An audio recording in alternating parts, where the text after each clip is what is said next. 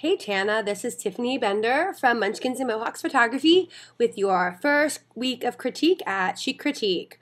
Um, I really enjoyed looking at your images this week, um, and I am excited to get to know you.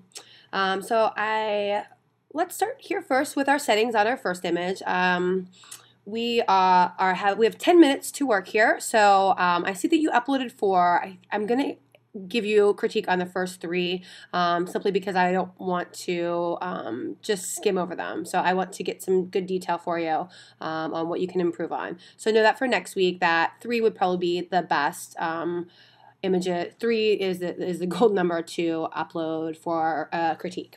Okay, so I actually really, really love your images. I don't have a lot um, of things to say, but I've got a couple of really great pointers for you and things that I think you can work on, but you've got a really, really great start. So the first image here, we've got uh, your D700 with your 50 millimeter. Um, your ISO is at 640 shot at f2.0 and 1 over 500. Your lighting is great. We've got some beautiful shadowing here. So we've got the light kind of falling right on the baby. You've got some nice pleasing shadows under the nose, um, some nice shadowing under here. I'm very happy with your um, lighting overall. So I went ahead and pulled this into Photoshop. There are a couple things that um, I think you can improve upon. Um, so let's take a look at those.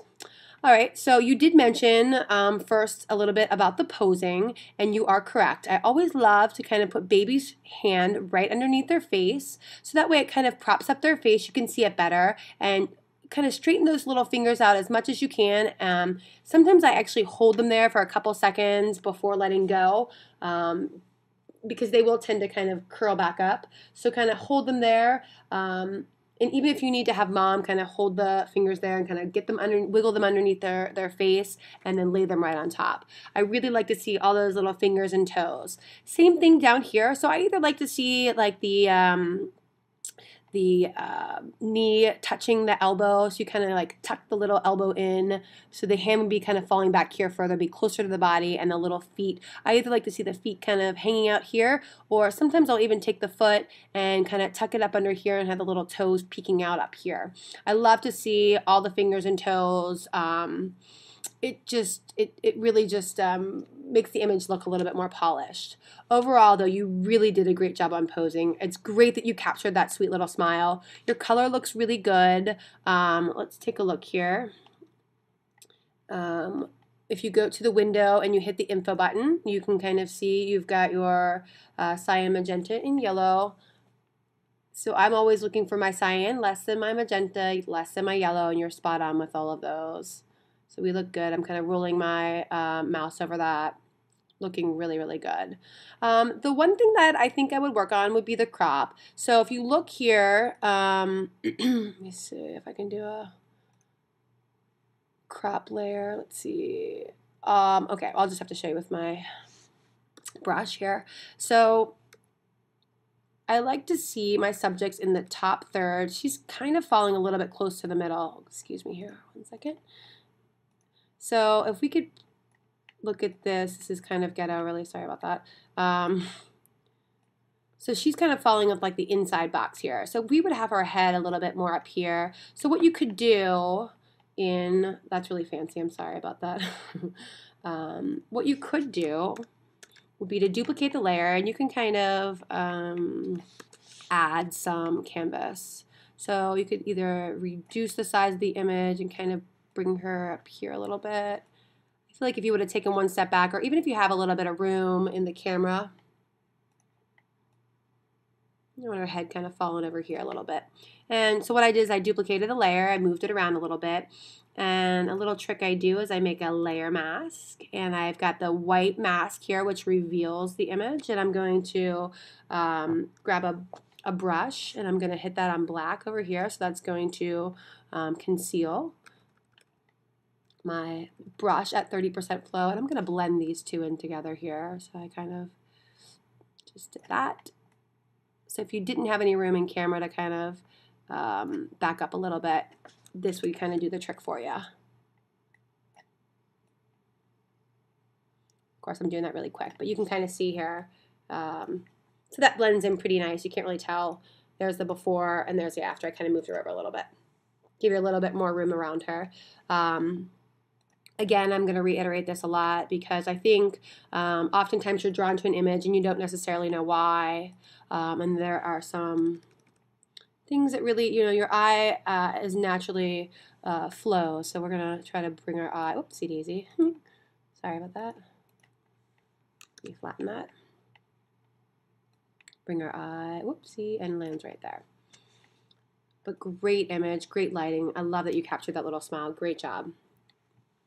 All right, so let's look at our next image. I love to shoot just like this. The interaction here is perfect. I love how you've captured the light falling on her face. You've positioned them just perfectly um, as far as the lighting goes. So let's take a look a little bit at the composition. There are a few things I feel like you could improve on.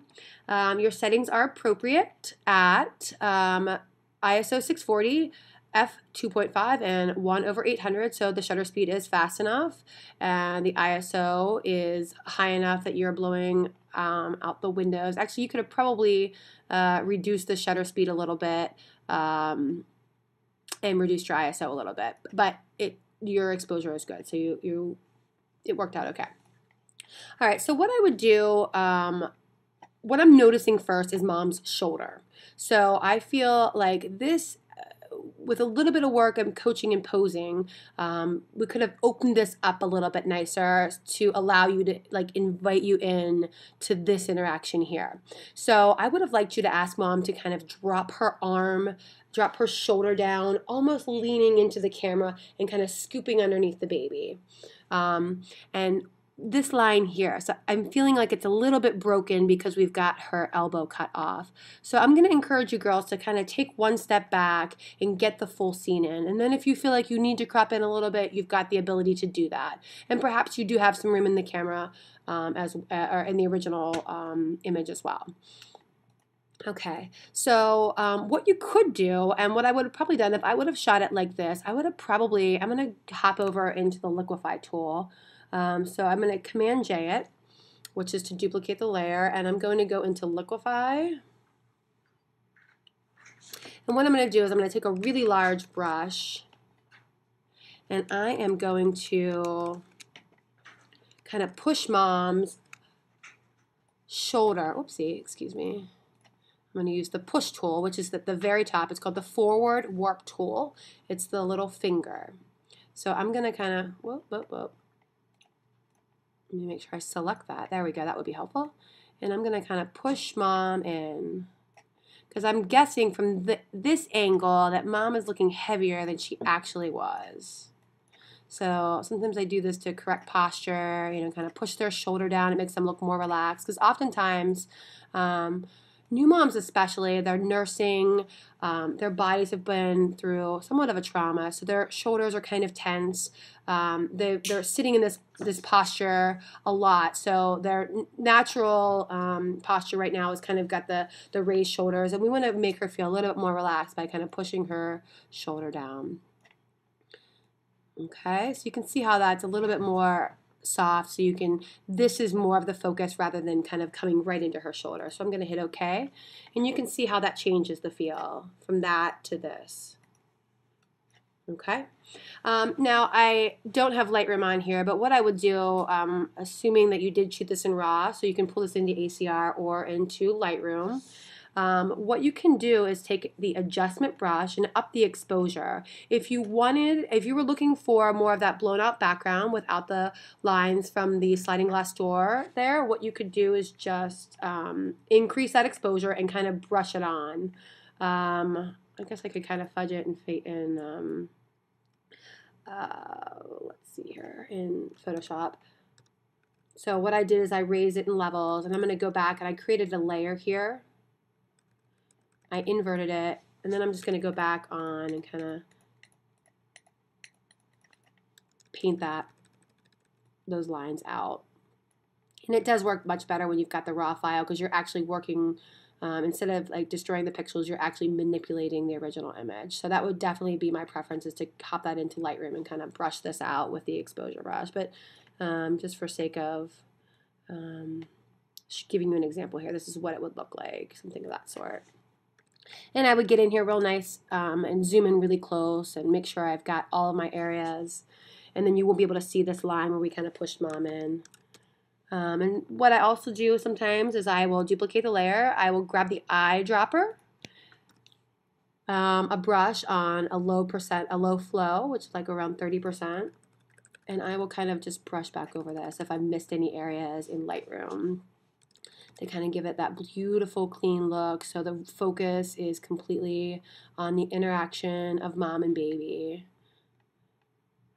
And now, of course, if you're looking to keep a little bit, I kind of like how you did have the background. The the lines from the slider were a bit distracting, but I did love the little drops on the on the um, windows. So you can kind of see here, this is a completely different look. So here's our, whoopsie daisy. Where's our before?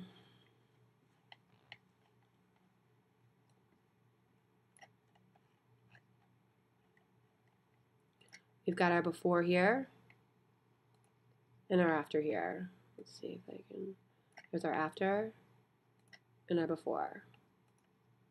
So we completely transform the image. Okay, our next um, image we're going to look at is this beautiful woman and her Great Dane. This is just such a stunning image. This woman looks absolutely gorgeous. I love um, what she has selected to wear against the background here. It really makes her stand out. Um, and again, you've got really great connection. Um, I think you're really going to be um, headed somewhere. You've got a really great eye. So some of the things that I would um, look at in this image, let's go ahead and hop over into Photoshop. Um, I think the first thing I would try, um, or if I were to shoot this, I would have um, kind of come in at a different angle. So we've got these trees over here and they're kind of competing for my attention. So uh, if you look at any of my work, I really like to use environmental framing um, to highlight my subjects. It really draws attention to them and um, creates a story, and it really makes your eyes linger in the image. Um, and I'm kind of feeling like I've got this great interaction. You've got great posing, and it's your eyes really um, circling around here. But then I'm also being drawn out here. So I've got these trees that are competing for my attention. So what you could have done is if you would have taken about five steps to the right, camera right, and shot in at this angle. So I don't know, I don't know how these trees continue, but hopefully they kind of come over and the branches would fall over top of her.